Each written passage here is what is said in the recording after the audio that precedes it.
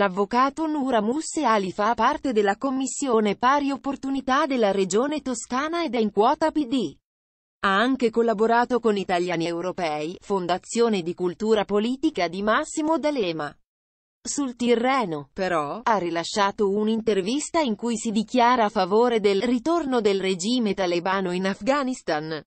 Ovviamente si è scatenato il putiferio e il leader della Lega, Matteo Salvini, ha stigmatizzato le parole della Musse e chiesto a Letta e Gianni di prendere le distanze.